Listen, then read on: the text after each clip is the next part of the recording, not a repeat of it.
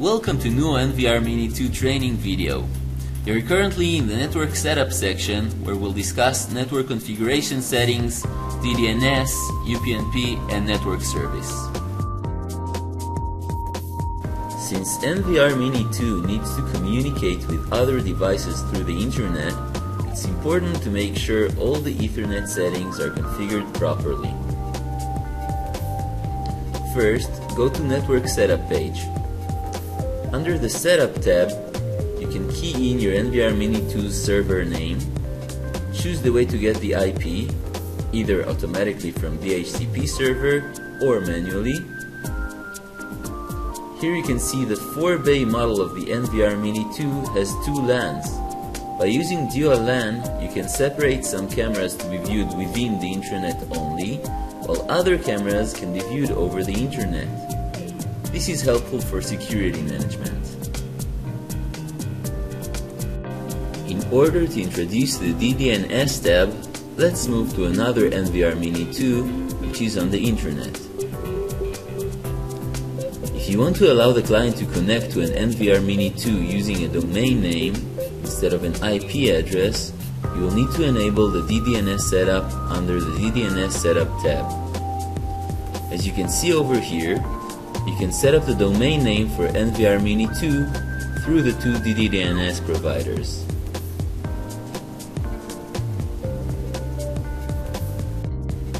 You need to register the username and password on the DDNS server's website first.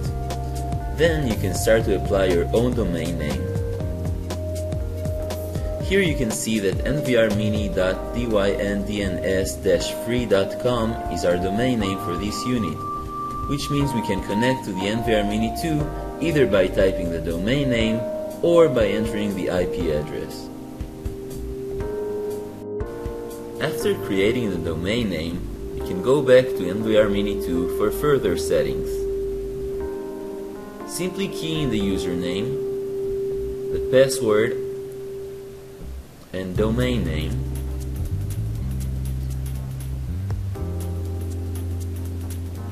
Then click on Save. Now we have successfully assigned a domain name for the NVR Mini 2.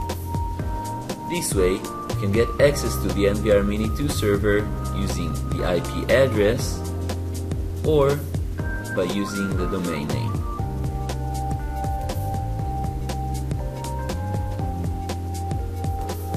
Now let's move to the UPnP port forwarding tab. For saving time in port configuration on router, if users want to access NVR Mini 2 from WAN, you'll need to enable UPnP service on the router first. This is an example of a router settings page. If the router has this function, please enable it first. Then we can go back to the NVR Mini 2. click the search button, the available routers will be listed. Select one of the search routers, all UPnP ports configured on this router will show under the UPnP port forwarding list. After that, click the Add icon to set up port forwarding to this router automatically. You will find in the network service page that the ports of setting, live view, playback, and CMS are all listed.